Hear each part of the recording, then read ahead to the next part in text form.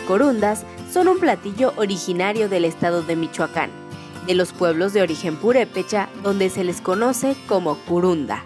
En la actualidad, existen diversos tipos de corundas, las cuales varían de acuerdo a su elaboración, entre ellas corundas de manteca o de ceniza.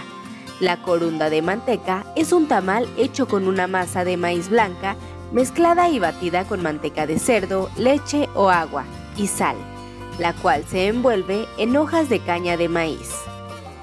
Esta versión de corunda es el resultado del sincretismo indígena y español. En las regiones de Pátzcuaro, Huitzeo, Siragüen, Sinzutzán y la cañada de los once pueblos hacen que el maíz se cueza en cenizas para que suelte el pellejo que lo cubre y luego se muele para formar la masa.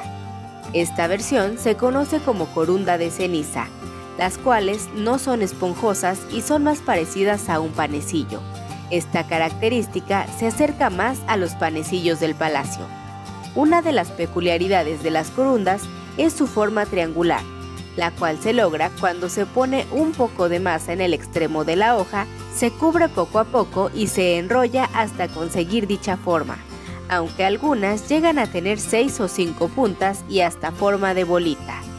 Este platillo se acostumbra a consumir con abundante salsa verde o roja, queso cotija o añejo y en algunas ocasiones crema y rajas de chile poblano o chilaca.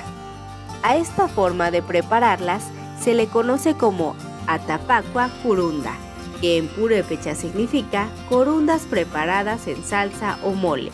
Las corundas son un platillo que representa a México, su origen y tradición prehispánica, son un orgullo para la gastronomía mexicana y un manjar que debes probar.